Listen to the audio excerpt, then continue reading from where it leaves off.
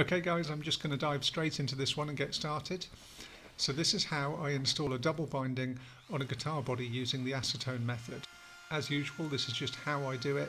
It's not necessarily how you should do it, but I've done quite a few of these now and I'm getting consistent results that I'm really happy with using this method. So I thought it might be useful to share it.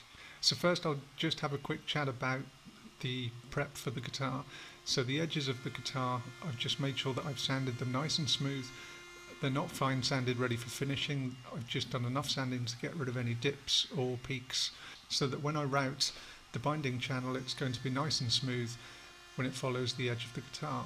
So what I always like to do when I'm installing binding is that I like the top of the binding to be just slightly proud of the top of the guitar, just by about the thickness of a piece of paper and exactly the same on the sides. And the reason for that is that I just prefer scraping the binding down to the level of the wood rather than the other way around. So that's nice and simple to do for the depth of the channel to the top of the guitar just by setting the height on the router. But the easy way to do that for making the depth into the sides or the edge of the guitar correct is just to wrap a piece of tape around the bearing bit on the router. And that's what I've done here.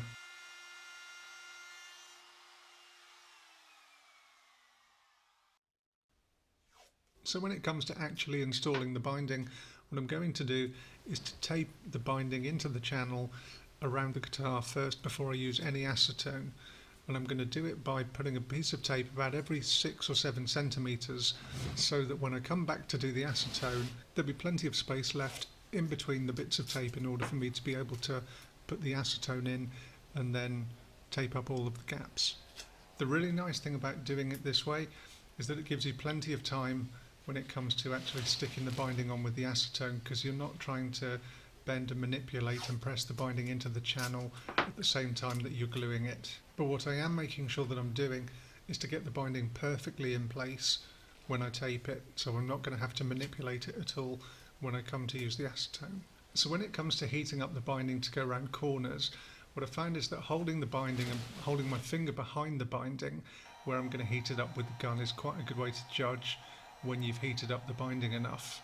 So when the heat gets a bit too intense for my finger, that's usually the point that the binding is warm enough to bend around a pretty tight curve. It can be a bit of a fine line with the plastic binding, particularly if you're using a darker colour because if it's too cold and you're doing a fairly sharp bend, you're going to start to get stress lines on the outside of the bend and on dark binding this is going to appear as white lines that go up vertically and it's not going to look very nice and if it's too hot the binding will start to bend and warp in ways that you don't want it to. So if I'm dealing with any curves at all I'll always heat the binding and go round the curve. So the way that I found to get the best results that I'm happy with is that if I'm bending the binding round a curve I'll always just heat it and bend it. If I've got to go round a sharp corner I'll cut off the binding and I'll rejoin a new bit. So for this guitar body there's a fairly sharp corner on both the upper and the lower horn so what I'm going to do for both of those is to cut the binding at that point and to join a new piece onto it. In fact, one of the really nice things about the acetone method is that because the plastic binding is dissolving in the acetone, when you're joining pieces, you're actually bonding them together as opposed to just gluing one piece to another. So when you come to clean up those edge joints, it will actually look like a seamless joint once you're finished. So you can see I've started to apply the acetone here so what I'm doing is to apply it with a syringe and I'm just squirting it right in between the plastic and the wood. Even though there's no gap there, the acetone seeps through nicely and I'm just applying enough so that I can see it seeping through the binding channel that I've cut just underneath the binding on the side of the guitar. That means there's plenty in there because it's gone all the way through and it's going to bond just fine. So I just work my way around doing about 5 or 10 centimeters at a time and taping as I go. Once you've applied the acetone and it starts to melt the plastic, you've got about one to two minutes of working time before it starts drying. So if you're working in 5 or 10 centimetre sections, you've got plenty of working time without having to rush. So a fairly useful tip just at this point is to make sure that you're pressing the binding in and down in the channel because it's surprisingly easy just to leave a hairline gap particularly in the side of the guitar, because your instinct tends to be to push the binding into the guitar but not necessarily down in the channel as well. So this is the point where I need to join a couple of pieces together. The most important thing that I'm going to do here is just to make sure that where the two meet, the new piece I'm going to cut the edge profile of the binding so that the joint fits perfectly into the existing piece. That way when I use the acetone to stick it on, one piece will actually bond to the other. And that's what's going to give me the seamless join that I was talking about earlier. So I've just left in about a minute or so so that you can see how I do the cuts and the joins. So you can skip forwards if you're not going to be particularly interested in that. It's worth mentioning just at this point though, for all of the cuts in the binding, and because it's easy just to shave off just a hair where you need to, I always just use a razor blade. It's by far the easiest way to get it perfect.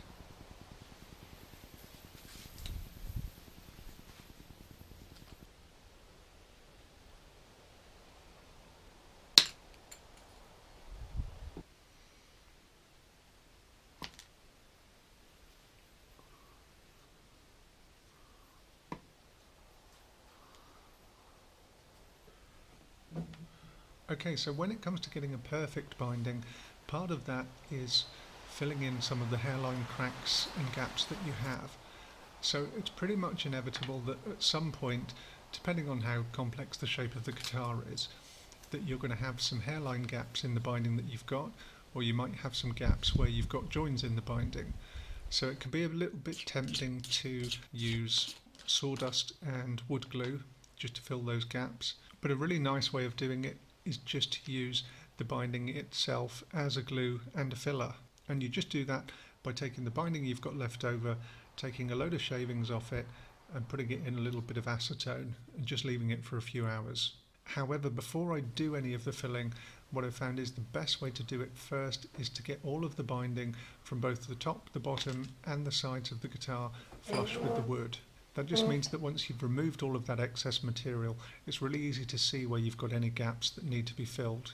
So I'm going to trim off all of the joints and corners with a razor blade. And because on the top and the bottom of the guitar, I've got about the thickness of a sheet of paper where the binding is proud of the body, I can just bring that down to being flush with the sander.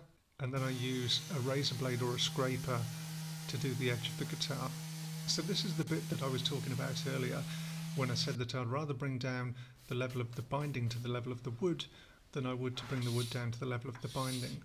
And that's because if you're using a scraper or a razor blade on the edge of the guitar, it's really nice and easy to see when you're done because you just keep scraping until you start getting some wood shavings in between the binding and then you're done.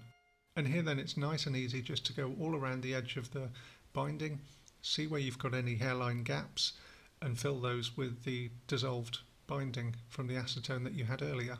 I found that the best way is to apply the filler with the needle because you can push it right down into any gaps that you've got and just to leave the filler slightly proud of the surface because it's a very quick thing to come back with a sander and just level it off.